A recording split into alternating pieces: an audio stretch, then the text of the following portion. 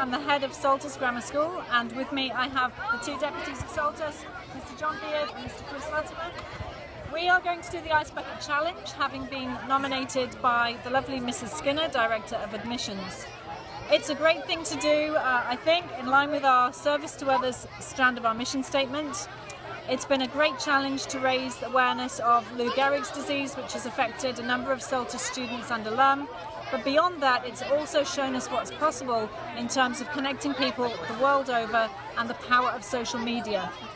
So today we have our school mascot Sammy the Knight, we have our head girl Nalani Dowling, and hopefully our deputy um, or our head boy Jake Fisher is going to come along and pour the ice. It's good.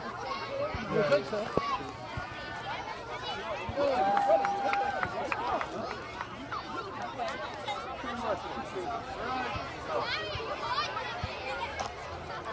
you first?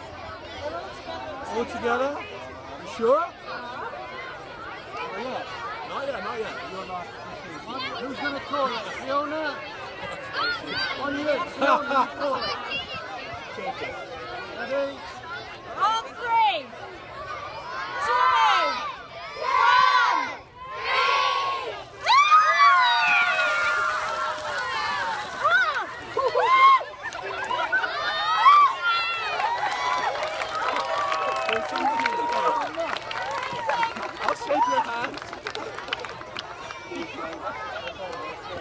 Thanks, Anna. Where's Mrs. Skinner? John. John. It's a hug.